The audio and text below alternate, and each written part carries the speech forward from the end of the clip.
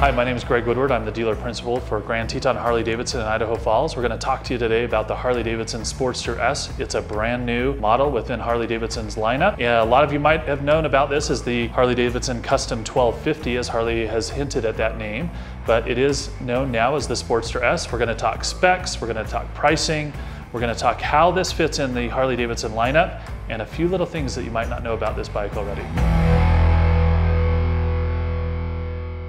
So let's get right into the Sportster S here. This is going to be a high performance model for Harley Davidson. It's running on the all new Revolution Max engine. It's 1250 cc's. They're actually referring to this engine as the Revolution Max 1250T, which means torque. So don't confuse this with the same motor that's in the new Pan America because it is different. And Harley plans to use the Revolution Max engine in several new models that are yet to be announced. But this particular Revolution Max engine is specific to the Harley-Davidson Sportster S. And from the initial spec sheet, it looks really impressive. That torque element, it's got 94 pound-feet of torque. It's gonna be really competitive in this bobber cruiser class, 121 horsepower. Harley is claiming that this bike has flat torque delivery, so it's supposed to get off the line quick and feel like it's pulling all throughout the power band here as well. So let's get to price here on the Harley-Davidson Sportster S. It's $14,999. And this bike, even though it is the most expensive Sportster, it is gonna be competitive with other uh, uh, competition out in the market right now. It's a bobber style motorcycle big fat front tire, plenty of horsepower. It's going to be the lightest Sportster, 502 pounds, uh, which is going to give it a really high power to weight ratio. From what we can tell, it's going to be the best power to weight ratio in its class. So you might be asking yourself, is this Harley Davidson Sportster a big deal? Well, it really is. The Sportster is the longest running model in Harley Davidson's lineup. It's been in the lineup since 1957. It hasn't had a major update for 35 years. So the last time it was updated was 1986. So let's get into the specs and figure out why this model is different and why it's going to be important uh, for Harley Davidson going forward. So let's get right into what makes the Harley Davidson Sportster S different. So it starts at the heart of it with the Revolution Max 1250T engine. This is an all new engine. Yes, it's the Revolution Max engine, but it is different than what's in the Pan America. That T in the 1250T is actually for torque. This bike has a lot of torque, has a lot of power based on its weight. It weighs in at 502 pounds. This bike is a V-twin, uh, 60 degree V-twin, liquid cooled. Um, it's got three selectable ride modes, which is a new thing for the Sportster. The only other Harley Davidson with ride modes right now is the Pan America. Those ride modes are just a normal street mode, a sport mode, and a rain mode. Uh, rain mode is supposed to be good for obviously the rain, but it also is uh, a mode that Harley Davidson says you should select if you're getting used to this bike or you're a new rider. So it, the bike will be approachable for new riders as well with that rain mode. Uh, cruise control is standard. ABS is standard on this motorcycle as, long as, as well as traction control, and that's cornering, ABS, and traction control. There is a new infotainment system. LED headlights uh, are also um, new on this bike. Uh, it will have kind of a similar family look to the Fat Bob with that pill-based headlight design, but it's LED all the way around. And you know Harley Davidson is going to support this uh, motorcycle right out of the gate with a lot of parts and accessories that are available. They haven't announced any Screaming Eagle performance parts or accessories, but you know that's coming. That's part of Harley Davidson's model. So the Harley-Davidson Sportster S also has a six-speed transmission. Sportsters right now have a five-speed transmission. So for those that do like to do highway cruising, you know, that bike is pretty wrapped out on the highway. With that six speed in the transmission, it should be much more approachable uh, for folks on the highway and, and much more bearable at highway speeds as well. This engine has tons of performance, like we mentioned, but all of that performance needs some stopping power as well. Like I mentioned, that there are ABS brakes. Uh, but the stopping power is provided by Brembo brakes. Along with the three pre-programmed ride modes that Harley-Davidson gives you in this bike, there are actually two customizable options as well. If it's similar to the Pan America, you're gonna be able to adjust throttle response, engine braking, and the such to adapt to your specific personalized riding style. So where does the Harley-Davidson Sportster S fall in the lineup? Well, it's starting to approach that Softail lineup. Uh, and there actually are some Softails that are priced a little less than this, like the Softail Standard, the Softail Slim, uh, Street Bob kind of category in terms of price. But this is a much different bike. We've had, you know, people think the, the Revolution Max is just a continuation of the V-Rod engine, but it's not. It's an all-new engine. There were some technology things that uh, Harley-Davidson learned from the V-Rod, but this is an all-new engine. And you know, I've had some experience with this engine now with the Pan America, and I really enjoy it. It's got variable valve timing, uh, which allows me to be in not quite the right gear uh, and still kind of work my way through it. And with all the available torque here as well, it needs variable valve timing to make sure that it has is able to kind of put that torque down to the ground. This bike has a custom bobber look and yes, it does have some hints of the Fat Bob and the bobber look that the Fat Bob has, but it is a much different bike. It does have the pill-like uh, headlamp.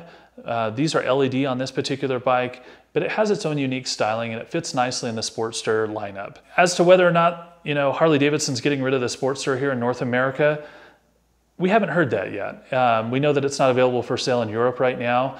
Um, and we know that Harley Davidson is committed to the Revolution Max engine, so it is going to find its way into other models. But we don't have any other information about it uh, yet. But with these two new models that we have, the Pan America and the Sportster S, um, you know, it is finding its way into different products now, and it's a fantastic engine. Now, traditionally, the Harley Davidson Sportster has kind of been treated as a beginner bike. But as you can see, the Sportster S really changes that. This is a performance bike. So it's important to note that the Revolution Max 1250T engine is a brand new engine. It's not the same Revolution Max 1250 engine that's found in the Pan America, and it's not the old V-Rod engine. This bike has different valves, a different power profile, different tuning, camshafts are different, the intake and exhaust are different as well. And it has been, been designed as the T in 1250T uh, designates to produce a tremendous amount of torque right off of the line with a flat torque curve through the mid-range to feel like this bike pulls, just like some of the big twin engines out there. The Revolution Max is a unitized powertrain, meaning that the engine and six-speed transmission are all housed in the same place, which increases performance and enhances handling. The Harley-Davidson Sportster S is equipped with a 2 into 1 into 2 performance exhaust that sweeps up high, but it is insulated so it will reduce heat around a passenger's legs, but still provide some really unique styling cues that tie back to the XR750. The Sportster S is equipped with a 17-inch front wheel and a 16-inch back wheel uh, with a wide tire that gives it that classic bobber look. In fact, the width of the front wheel is the same width as the Harley-Davidson Fat Bob. This will contribute to the overall look and feel and handling of the motorcycle. So as for forks and suspension, the Harley-Davidson Sportster S is equipped with Showa front and rear shock components that are fully adjustable for preload and rebound. The bike also is low maintenance compared to some of the other competitors out in the space uh, with variable valve timing. Uh, those valves actually don't need to be adjusted where some of the competitors need to be uh, taken to the dealership for maintenance as, as little as 6,000 miles. In terms of seating position, handlebars, the Harley Davidson Sportster S, again, is in that classic bobber type styling, forward controls, forward aggressive position for aggressive riding that matches the performance of this vehicle. Very similar to the Harley Davidson Lowrider S. But for those of you that prefer mid controls, Harley Davidson right out of the gate has a mid control option available. Uh, there again, it just comes down to preference. Me being a taller guy, I actually like the forward controls on this style bike. What else is different with this motorcycle? So Harley Davidson has been behind on the Sportster model for sure with technology. That's not the case with the Sportster S. There is a new four inch in diameter TFT screen that should be high resolution. It'll display all the functions of this vehicle along with infotainment information. And it's supposed to integrate really neatly with a new helmet that Harley Davidson has come out with. The new helmet is the Outrush R helmet. It's a Bluetooth capable helmet with all the Bluetooth functionality built into it. It's modular, it looks really cool, and it's supposed to work well with this motorcycle. Harley Davidson's releasing it alongside this motorcycle. Harley Davidson is also releasing a new parts and accessories kit, uh, new pegs, new hand grips that are billet aluminum with some gloss black accents called the Wild One collection. So Right out of the gate, you can personalize your Sportster S in a style that's unique to the stock version. So I'm really excited about the Harley Davidson Sportster S. I've owned a Sportster in the past. I had an XR1200, it was my third motorcycle. I love that bike. I have a pretty large collection, so I'm constantly moving things in and out, and I'm planning to add this bike to my personal motorcycle collection.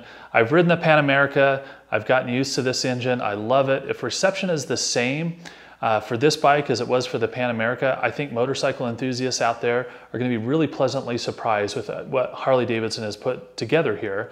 And I can't wait to get on this motorcycle and uh, you know come up with impressions right out of the gate for it. I really do like what Harley Davidson is doing in, in terms of you know continuing to innovate. And frankly, I don't think they really had a choice. Um, they have a really unique history. Harley Davidson has a massive community. Those of you that uh, have been part of that community um, and supported Harley Davidson in years past, uh, I think are going to be really surprised and going to support this vehicle as well and realize that you know Harley's really advancing the ball and setting themselves up for you know the future here, the next several decades to come. So the Harley-Davidson Sportster S is a really historical moment for the Sportster lineup. Like I mentioned, it's been 35 years since the Harley-Davidson Sportster has been updated. So this is really historic moment. I was only 10 years old. I couldn't get on a Sportster at that moment in time. And I'm really excited to be part of this historic moment and the next movement in the Sportster lineup uh, and a new level of performance in that family. And we'll see where Harley Davidson goes with the Revolution Max engine and what application they're gonna put it in next. So really appreciate you tuning in. Uh, as you can see, we're producing a lot more video content. Please make sure you like, subscribe. It helps us produce more of it. Uh, right as soon as we get one of these motorcycles on the ground or get more information about it, if Harley Davidson does a training session similar to what they did on the Pan America, we want to be the first to bring you some of that information. And like I mentioned, we're really excited to get on this motorcycle.